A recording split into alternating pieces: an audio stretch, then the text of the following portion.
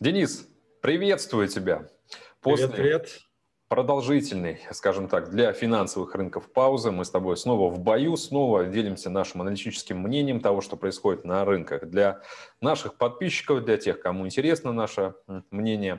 Тебе спасибо, что в новом году решил продолжить эту инициативу именно совместного контента. Знаю, что ты очень занятой человек, но твое мнение очень важно – Поэтому а, предлагаю, собственно, двигаться, как мы это делали раньше. Наши с тобой еженедельные эфиры, два эфира, соответственно, по вторникам и э, четвергам.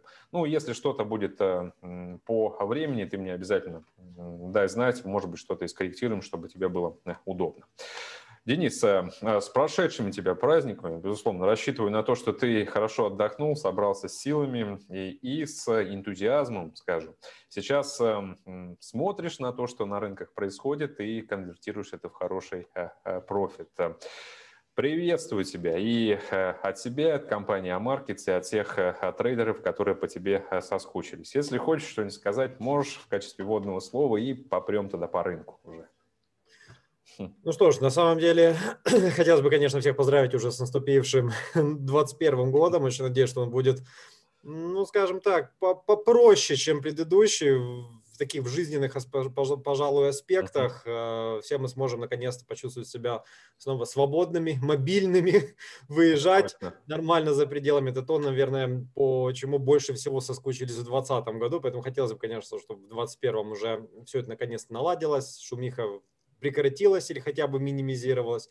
Вот. Ну и рынки, в принципе, вот я так, э, я в принципе не прекращал торговлю, просто сейчас очень сильно еще акцентировался на фондовом рынке, но в целом э, смотрю, что очень неплохо себя чувствуют, э, какая-то определенность хотя бы появилась уже, потому что то Трамп, Байден, Байден, Трамп да. и вся вот эта шумиха уже порядком поднадоела которая с прошлого года тянется еще с ноября, и сейчас вроде уже вот инаугурация вчера прошла, уже в основные все посты они объявлены, кто будет там министром а, финансов и, и прочее. Думаю, об этом ты еще несколько слов скажешь. Вот. И конечно же, ну что ж, работаем, друзья мои, работаем, что 21 год нам запомнился только с хорошей позитивной стороны. Это точно. Так, ну что, давай тогда к финансовым рынкам. Я предлагаю начать с нашего с тобой традиционного локомотивчика, того, что на площадках происходит с индекса доллара. Так, демонстрация экрана. Так, друзья, ранее мы э, с Денисом закрывали 2020 год э, с идеями, которые транслировались довольно продолжительный период времени о том, что индекс доллара это инструмент, который смотрится исключительно вниз с учетом э, тех э, мер э, стимулирования, которые ранее были уже предприняты, ранее анонсировались и ожидались уже при новоиспеченном правительстве демократов в Штатах.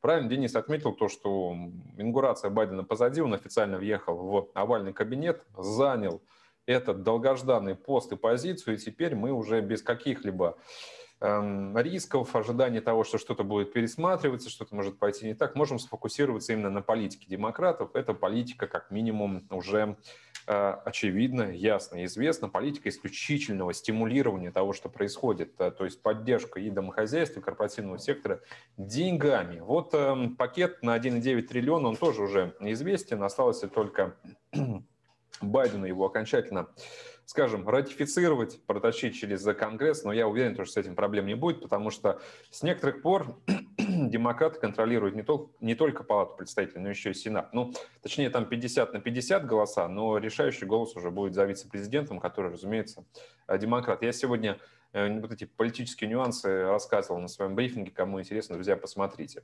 Сейчас э, локально мы видим то, что 4-часовой таймфрейм доллар реально поджимают, и на фоне ослабления курса доллара видим восстановление рисковых инструментов. Риск прет вообще. Все активы, ну, может быть, там за редчайшим исключением, Основные инструменты, за которыми мы ранее с тобой э, следили, это такое мажоры, как говорят на рынке Форекса, они активно растут. Поэтому по индексу доллара, друзья, я рекомендую на долгосрок, может быть, даже на перспективу всего 2021 года заходить э, в сел, если вы этого раньше не сделали. Буду э, в ходе последующих эфиров вместе с Денисом также держать вас в курсе того, что происходит. Но пока что действительно Байден, Минфин, который возглавит Джанет Йеллен, Джером Паул, это команда людей, которые готовы забрасывать экономику вертолетными деньгами. Ну что тут мудрить? Давайте тогда работать именно э, с ожиданием того, что эти деньги станут э, причиной усиления нисходящей тенденции по доллару. Сегодня также можно посмотреть на евро, потому что евро как эм, основной мажор, представитель рисковых инструментов, европейская валюта сейчас растет, очень хорошо оттолкнулись мы от скользящей средней 137 периода. Я думаю, что сейчас, поскольку мы далеко от нее не ушли, в принципе, вот в диапазоне отметки 1.21, 1.2150, это довольно оптимальная точка входа в лонг с расчетом на перехай и движение пары выше отметки 1.23. Э, по ожиданиям того, что евро будет эм, расти. Я только что отметил, что основная поддержка со стороны слабого доллара. Сегодня заседание Европейского Центрального банка. Кстати, ну, там никаких изменений не предвидится. Но хочу отметить, что если ЕЦБ будет анонсировать э, и сообщит о готовности к дополнительному смягчению монетарной политики, как бы это странно ни звучало, но евро на этом может получить поддержку. Я делаю вывод об этом э, на основании последних наблюдений за тем, как реагировал евро на последние э, заседания ЕЦБ в рамках 2020 года. Каждый раз, когда Эм, Европейский центральный банк позволял себе вербальную такую интервенцию, а это воспринималось как благо для последующего восстановления европейской экономики и способствовало росту доходности европейских облигаций, и от этого выигрывал евро. Сегодня по факту решения, вот э, буквально так, по времени у нас 15.45 по московскому времени это ставка, в 16.30 пресс-конференция. Конечно же, ждем волатильности. Евро может э, легко дать коррекцию там, к уровню 1.21. И вот примерно вот где-то вот с этих значений 1.21, может быть, даже чуть повыше, я думаю, что стоит э, заходить в лонги.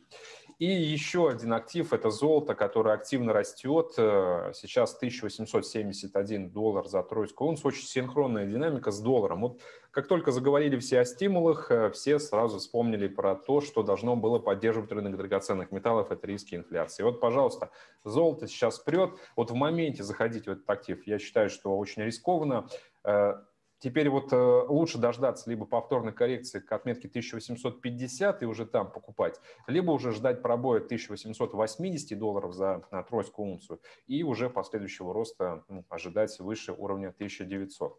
Короче, я думаю, что до конца этой недели, может быть, даже картина станет более ясной, мы поймем, на рынке появились новые тренды, или это пока что еще неоднозначная динамика рынка, когда трейдеры, и ну, покупатели и продавцы еще сомневаются, какой им вектор движения выбрать. Риск покупаем, это как резюме. Доллар продаем на основании слабого доллара, также покупаем еще и золото. Денис, слово тебе. Так, хорошо, слово взял, пока сделал. Значит, касательно евро, в принципе, Сейчас очень пограничная ситуация. Мне, если честно, даже рынки, именно валютный рынок так чуть-чуть напрягает э, в этом году, потому что как такового, ну, uh-huh. скажем, движения, которое хотелось бы увидеть или которое, ну, вообще хоть какое-то трендовое, ничего не происходит. Особенно эту неделю евро вообще находится во флете, то есть там какой-то мелкий диапазон, там максимум э, весь диапазон недели, а, получается у нас 100 пунктов и так никуда не ушло. А по большому счету у нас есть очень хорошее накопление вот в этом диапазоне 21.37, 21.77, и, собственно, эта область у нас является как бы потенциально а, сильной с точки зрения продаж. То есть падать есть куда на самом деле, там и с точки зрения тех же опционов, то есть и маржи здесь проход хотя бы в район 1.20, ну это как минимум. Либо при более глубоком раскладе в 1.19, потому что ключевые экстремумы предыдущие тоже были уже пройдены. Вот, так что евро может еще немного поколбасить и все-таки спуститься вниз. Я пока что приоритетно его все-таки рассматриваю на продаже. Единственное, меня, к сожалению, по безубытку уже скинуло. У меня продажи здесь были 21.35. Вчера вроде неплохо сходили вниз, но опять вернулись. То есть такая вот флетовая ситуация, которая, ну, даже не знаю, раздражает или нет. Uh-huh. Я, в принципе, как бы на валюты сейчас даже не сильно прям так уж отвлекаюсь, но вот э, посматриваю и просто, просто жду условий. Поэтому пока вот эту область а, не пройдут выше, то есть не закрепится выше этого диапазона, тогда, собственно, я только буду рассматривать уже на разворотку вверх с перехаем уже в район на 1.24. Пока что вот с текущих больше все-таки преобладает, я думаю, на продажу. И, то это локально. А стратегически все равно жду на 24-25 на добой, но это только после уже завершения всей вот этой вот общей коррекции. А если говорить по поводу индекса доллара, здесь опять-таки вот у нас такая вот размашистая флетовая ситуация, которая очень похожа на а, общую, которую делают накопления, то есть они, как правило, так и формируются. Поэтому я думаю, что здесь дойдут до нижней границы, это как раз э, район приблизительно там 89-90, приблизительно так, это у нас зонка вращения так называемая. И отсюда снова сделают отскок, и толком никуда доллары не уйдет и будут дальше продолжать вот здесь вот флете, то есть делать накопление, а дальше уже по прострелу будем смотреть.